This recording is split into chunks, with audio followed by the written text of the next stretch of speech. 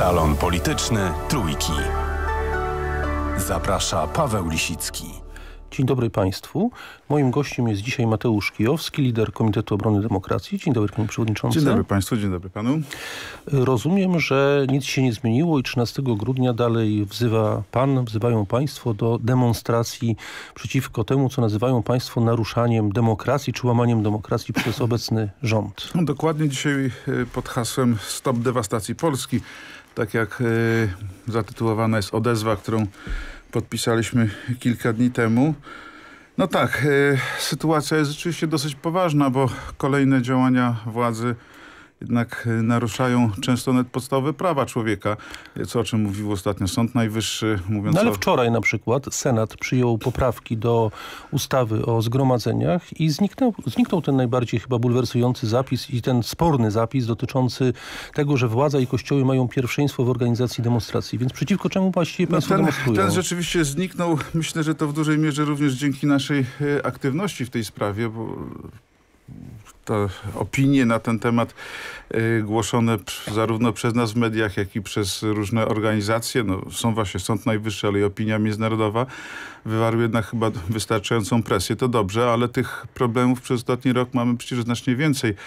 E, zaczynając od samego początku, od Trybunału Konstytucyjnego, poprzez e, upolitycznioną prokuraturę, poprzez e, media publiczne zawłaszczone przez partię rządzącą, poprzez ustawę o prokuraturze, która pod, podłączyła prokuraturę pod działalność polityczną, właściwie pod ustawę o inwigilacji, która pozwala w sposób bez żadnej kontroli przez...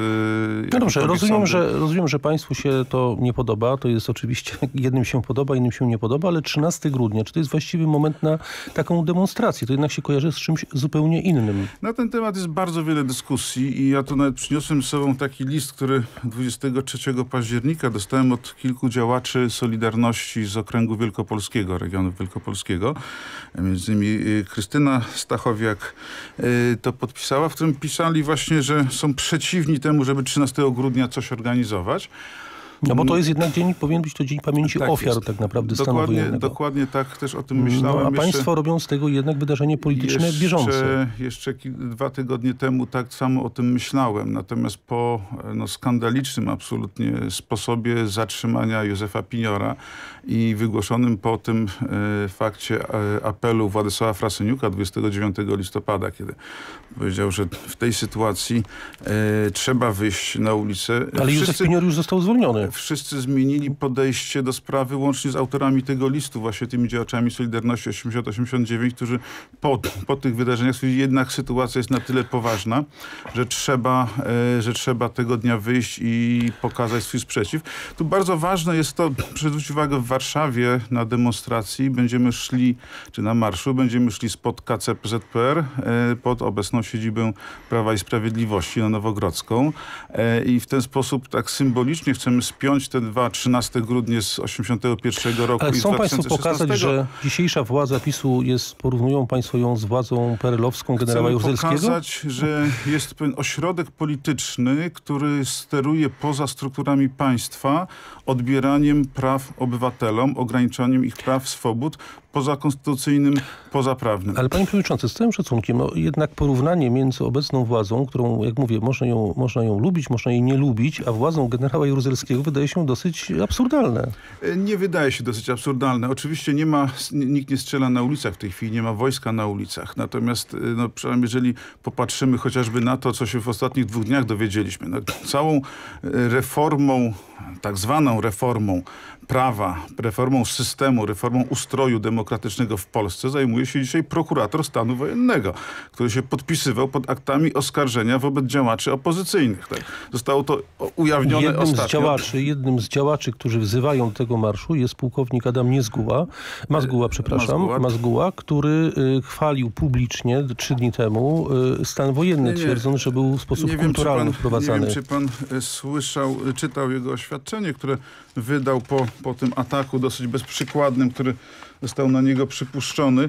On oczywiście nigdy nie chwalił stanu wojennego. Eee, to, może pan zerknąć. On e, oczywiście przeprosił za to, w jaki sposób została zrozumiana jego wypowiedź. Jak również za to, no, że ona została może się tak nie do końca... zrozumiana, jak została powiedziana. To jest napisane, napisał to dokładnie tak. Jeżeli zostałem źle zrozumiany, albo po prostu źle wypowiedziałem swoje myśli i w efekcie chociażby jeden Polak poczuł się urażony, to bardzo serdecznie przepraszam, ale wcześniej wyjaśniał, że chodziło mu o relacje między ludźmi, że obywatele w stanie wojennym wychodzili do żołnierzy, którzy się grzali przy skrawnikach, przynosili im herbatę, zupę, kanapki, że relacje... No panie przewodniczący, ale dobrze się, pamiętamy, kilkanaście ale, tysięcy internowanych, masowe odejdźmy... aresztowania, wprowadzenia wojska na ulicę, tak masowy terror, gigantyczna propaganda.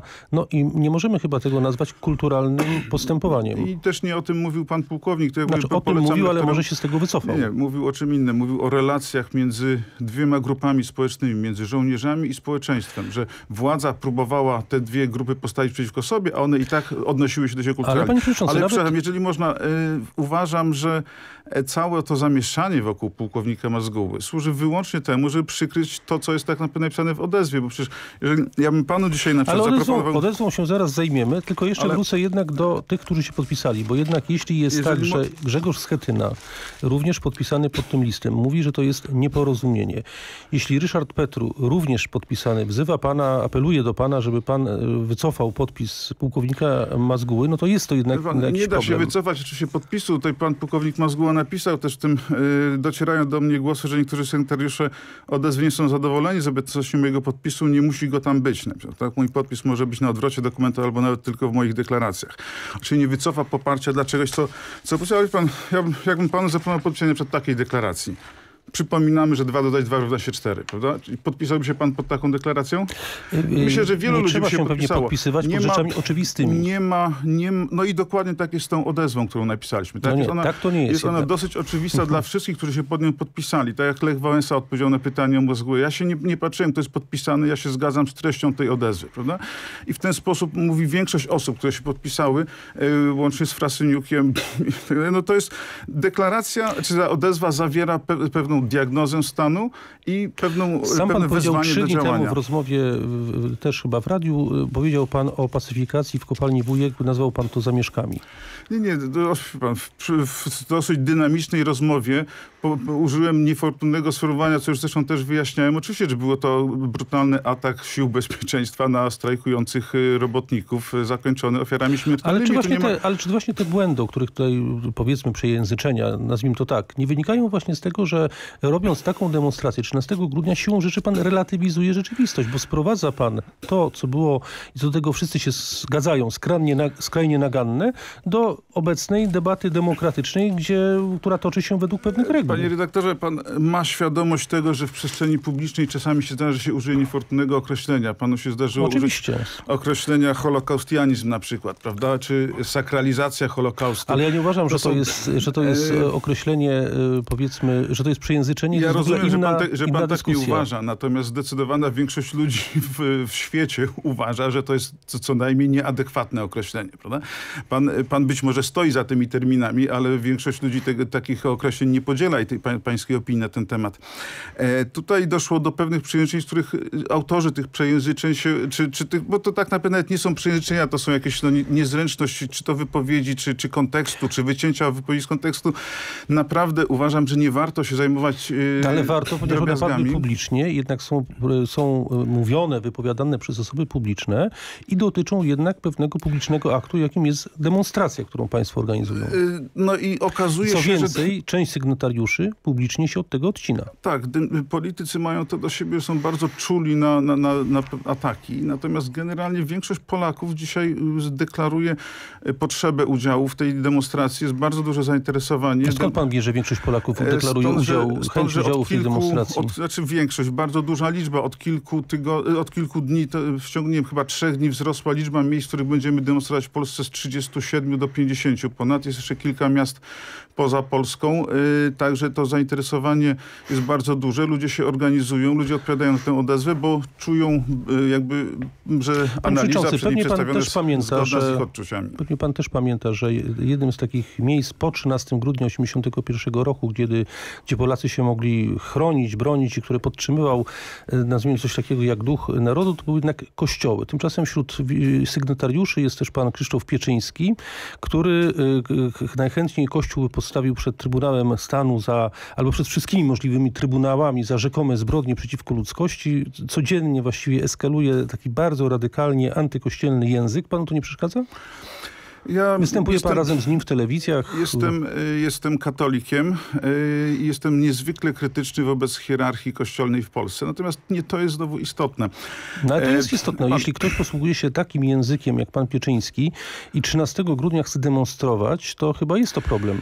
Myślę, że nie. Myślę, że nie dlatego, że yy, tak jak mówię, dzisiaj mamy zupełnie inną sytuację niż, yy, niż te 30 kilka lat temu. Ja w roku 83, 84 byłem przewodniczącym samorządu szkolnego i walczyłem o to, żeby krzyż mógł wisieć yy, na korytarzu w szkole. No i teraz panu nie wejściem. przeszkadza ktoś, kto mówi, że Kościół jest organizacją zbrodniczą? A dzisiaj, a dzisiaj uważam, że krzyż w szkołach nie powinien wisieć, nie powinien wisieć w Sejmie i tak dalej. Ale mówię, y, naprawdę sprowadzanie y, jakby całego problemu do tego... Ja, ja widziałem taką publikację na jednym z tak zwanych prawicowych portali, gdzie wszystkim 13 osobom, które się podpisały pod tą odezwą, przyklejono różne łatki, obrzucono jakimś, jakimś błotem, jakimś... A tu nikt nikogo potem nie odrzuca, tylko cytujemy wypowiedzi i staramy się Tak, pokazać, no, co myślą. Więc co to jest za błoto? Nie, nie. No? Jeżeli podpisujemy deklarację, to znaczy, że, zgadzamy się z tą deklaracją. To nie jest deklaracja, jesteśmy w tacy sami i wszyscy myślimy tak samo w każdej za- sprawie. Razem występujemy jako ci, którzy będą prowadzili ten marsz. Nie, Więc to nie, jest pewna nie, wspólnota. nie. Przepraszam bardzo. W deklaracji jest napisane, żeby wyjść na ulicę, bo Aha. sytuacja jest poważna. Jest to odezwa do tego, żeby obywatele się zaktywizowali, podjęli pewne działania i, i tak też to No dobrze, rozumiemy. to jeszcze zapytam się inaczej. A na czym ma polegać też głoszony w tej deklaracji, też często przez pana, obywatelski sprzeciw y, wobec władzy? Państwo już tej władzy nie uznają? Na czym Nie, to polega? Nie, będą można, państwo płacili nie można, podatków? nie Co się można? Nie można nie uznawać władzy, zwłaszcza, że została wybrana w demokratycznych wyborach. Próba nieuznawania tej władzy byłaby obrazą wobec obywateli, którzy głosowali w wyborach. Tak?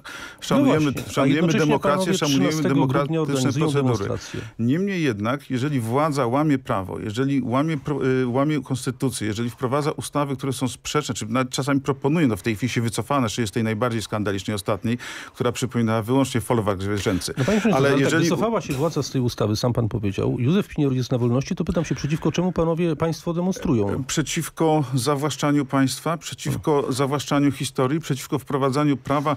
To nie jest jedyna ustawa, która jest sprzeczna z konstytucją w ostatnich czasach, czy w ogóle z podstawowymi zasadami działania.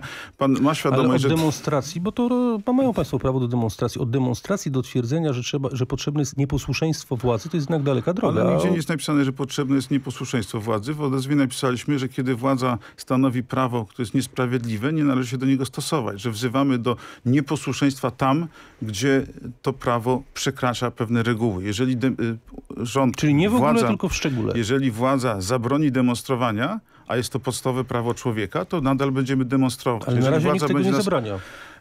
W tej chwili nie. Oczywiście udało się. Władza się przestraszyła i bardzo dobrze, ale gdybyśmy o tym nie mówili, to byśmy mieli być może dzisiaj już uchwalone i podpisane prawo e, z tymi skandalicznymi przepisami, o których cały świat mówił, że, że są sprzeczne z Ale to podstawowymi może ta władza prawami wcale nie jest człowieka. taka straszna, skoro wystarczyło, że panowie jeszcze nawet nie zorganizowali tej demonstracji, a już się z tego wycofała. Bardzo się cieszę, że wycofała. Być może nie jest taka straszna. Teraz czekamy, kiedy przywróci niezawisłość Trybunału, kiedy przestanie e, łamać konstytucję prezydent, bo ja przypomnę, że prezydent dwa razy złamał konstytucję. Raz nie przyjmując ślubowania od sędziów poprawnie wybranych i drugi raz przyjmując od tych, To którzy byli oczywiście niepoprawnie pańska wybrani. opinia, tu się pewnie Że różnimy. e, pani premier łamie Musimy- konstytucję nie publikując wyroków. To Musimy- są po, poważne problemy. Musimy kończyć. Bardzo dziękuję. Moim gościem Dziękuję był bardzo. Mateusz Kijowski, lider Komitetu Obrony Demokracji. Do usłyszenia.